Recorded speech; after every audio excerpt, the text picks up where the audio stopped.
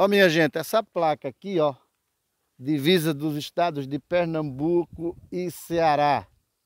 Liga o município de Araripina, onde eu cheguei ontem, a, a cidade de Salitre, no Ceará. É uma estrada importantíssima do ponto de vista econômico. Aqui é uma região do gesso, que gera muito emprego e renda.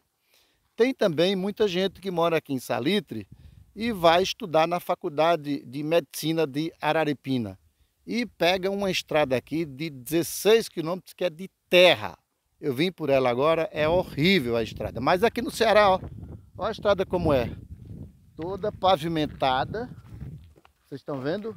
Por quê? Porque o Ceará cumpriu a sua parte, fez a estrada, mas o governador Paulo Câmara esteve aqui várias vezes, inclusive com aliados dele, a deputada aqui do município, ela chegou a anunciar que ia colocar uma emenda de 200 mil reais para a estrada. Imagina, não dá nem para fazer o projeto.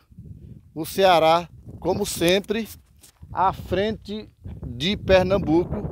E nessa minha passagem aqui pelo Araripe, eu mostro mais uma vez que nós estamos anos-luz atrás do estado do Ceará. Dá mais uma prova aqui, minha gente.